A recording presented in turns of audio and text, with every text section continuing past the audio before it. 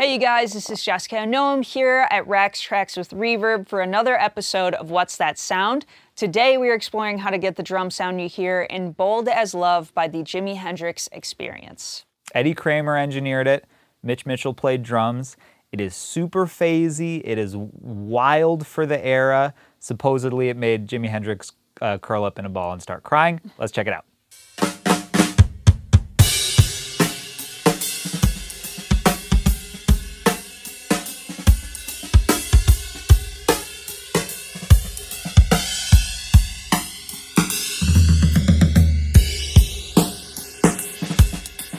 For our drums, we have a classic maple Ludwig kit, and we used a Ludwig Acrolite snare. For our cymbals, we used K-Dark Zildjian hi-hats, and then we used a 21-inch K-Sweet Zildjian ride.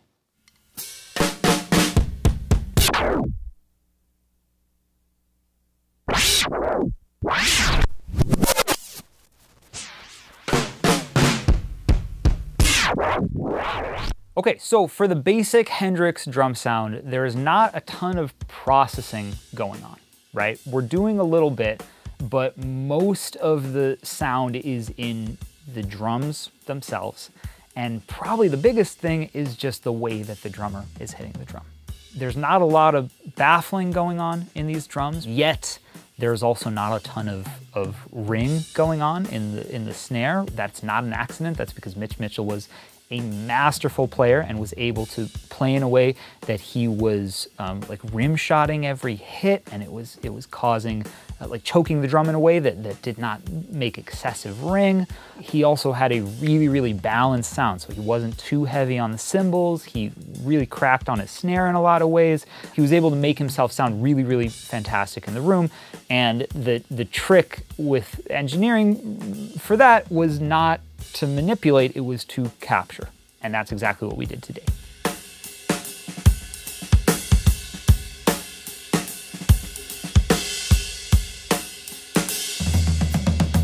We used a three mic technique. This is a super well-known popular technique called the Glyn Johns method. It was very popular at the time. It involves two overheads and a kick mic, no snare mic, no tom mics, and it really, really naturally captures the drums.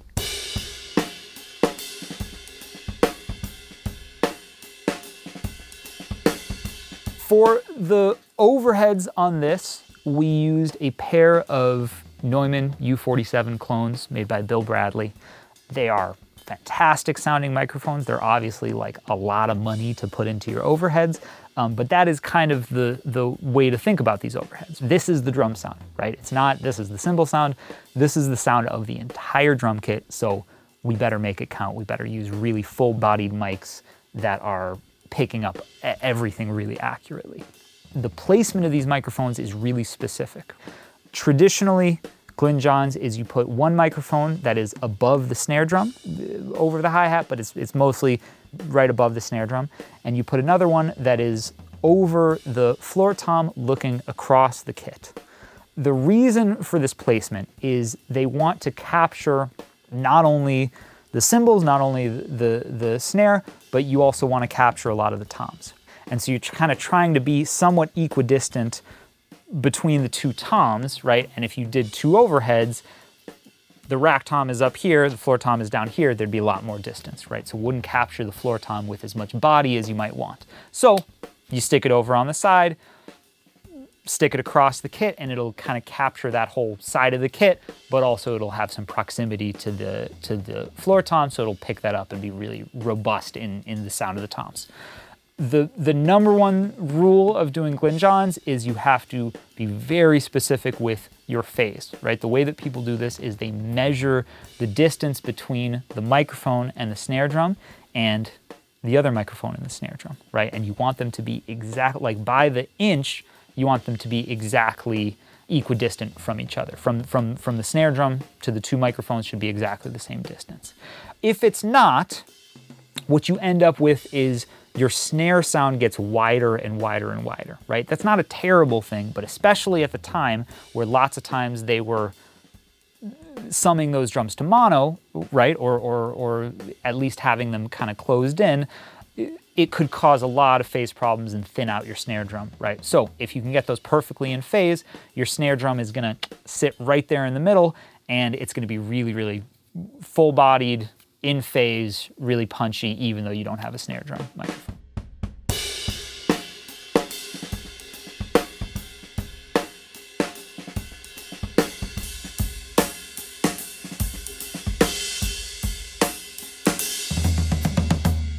For the kick drum, that is supplemental at this point, right? There is still kick drum coming from our overheads, but to make it a little bit punchier, we're gonna use an RE20 on our kick and help kind of get that, that kick drum to have the amount of low end that we want.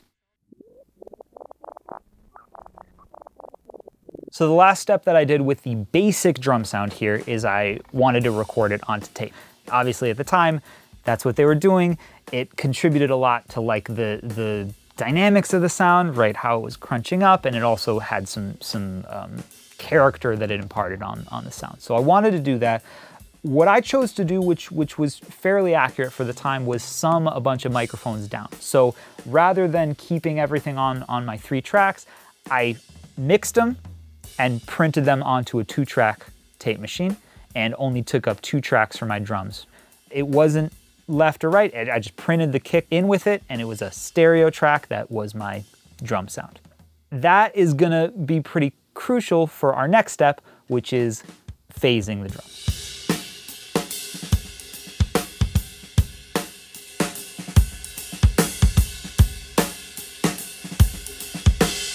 So you'll notice in the back half of this recording that there are some crazy spatial uh, sound effects going on. That is tape flanging that you're hearing. And it was really, really novel at the time, right? This was not a sound that people were familiar with like they are now. The way that you achieve it is you have to take your drum sound, right, print it onto a stereo set of tracks, and you have to record it onto a separate tape machine. You then would take the two tape machines, which had the exact same sound recorded onto them, and you would rewind them and try to get them synced up where they would start at exactly the same place. That's really hard to do. You would press play on both of them at the same time. Uh, they would probably be a little bit out of time with each other. You would then try to sync them up as they play by turning, either speeding up the reel or by you know, sticking your thumb on the reel and letting it drag a little bit, letting it slow down a little bit. And when you would get close enough where they were playing at almost exactly the same time, what you would get is some comb filtering that would start happening. And this is what people refer to as flanging, right? Is the sound of these two signals that are almost exactly in time with each other, but they're just a little bit off, and you get these phase interactions that causes a sound, right? Certain frequencies get uh, dipped, certain frequencies get added to. If you continue to take that slightly more and more out of time, all of those interactions are gonna change, right? And so you're gonna get this kind of like whistling sound and the sound of all these frequencies kind of changing until you hit a null point and then they're gonna start going in the opposite direction. So as soon as you get to the point where they're exactly together, immediately you're gonna go past that point and they're gonna start going in the other direction. So it's way harder to do this on two tape machines. To make it a little easier for myself today, I recorded the drums onto the tape machine, recorded the sound off a of tape back into Pro Tools, and that was one of my tape machines, was Pro Tools playing the tape sound along with the actual tape machine.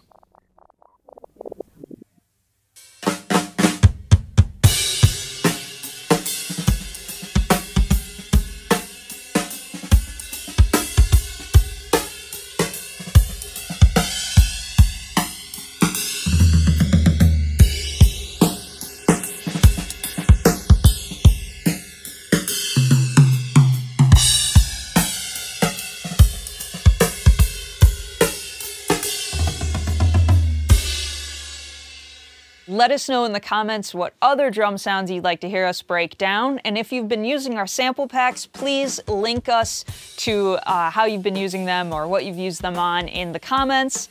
And we will see you next time.